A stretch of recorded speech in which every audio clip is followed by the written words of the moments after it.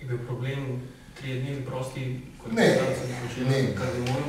Ne, ne, to ni, to ni. Eh, Glej, to je stvar trenerja pa tega direktorja tam. Mi dva takrat sva se praktično s Pipanom šla že pred začetkom Evropskega prvenstva. Jaz takrat nisem hotel narediti iz tega, da odstopam, a kaj, da ne bi eh, porušil nekih Zakaj ste se razšla?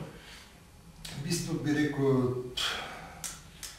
eh, malo tam se je začelo takoj, ko smo šli prvič na ene priprave v pripravljalni turnir v Črnogoro pred tem prvenstvom.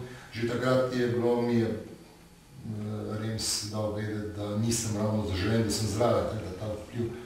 To je bilo malo šokantno za me, mislim, da v tisti trenutek, tisti turnir, da se spoznamo, da si zaupamo, da se odpeljemo. ne. Tam je bilo pa kar naenkrat, jaz ne vem, zakaj je bil tak recimo strah. Ne.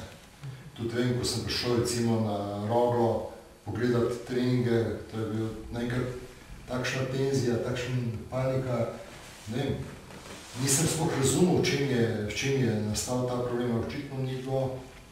Nekaj, nekaj moraš vedeti, ne, da jaz sem v košarki, bi rekel, od malega, ne, kar sem začel igrati za Olimpijo, eh, da jaz seveda na, tren, na trening, ko pridem, marsikaj vidim. Ne.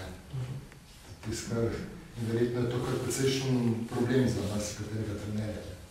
Tako da eh, tu ne more kaj dosti. Ne.